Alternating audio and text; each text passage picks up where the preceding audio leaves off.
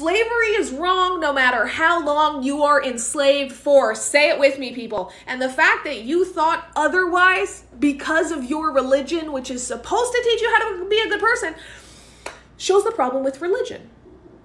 And the fact that you keep saying, you're going to heaven, you're going to heaven, that's why we all do not want to fucking go there. Because people like you are telling us you're going to be there. Spending eternity with people who think that slavery is only slavery if it's permanent would be burning an eternal hellfire for me. Okay?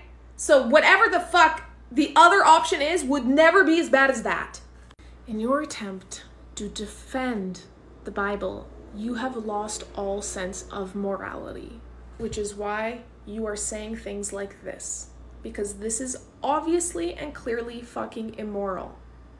Obviously. You know who writes these things in books? Slave owners. Mm-hmm. And all the people in the comment section saying, You're gonna find out one day that God's real whether you like it or not. You have literally no basis to make that claim. I could say, when you die, you're gonna find out and you're finally gonna believe that at nighttime, when you're sleeping, pigs fly around your bedroom. You're gonna find out one day. Just because I can't prove it's real doesn't mean you can prove it wrong. Because you can only see it when you're sleeping. You can't see when you're sleeping now, can you?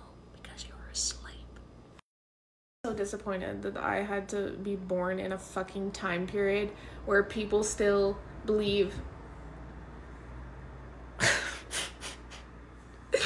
in this delusion.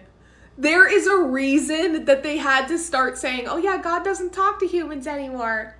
He hasn't talked to anybody in a very, very thousands and thousands of years for some reason. For some reason, he doesn't talk to us anymore. I don't know why.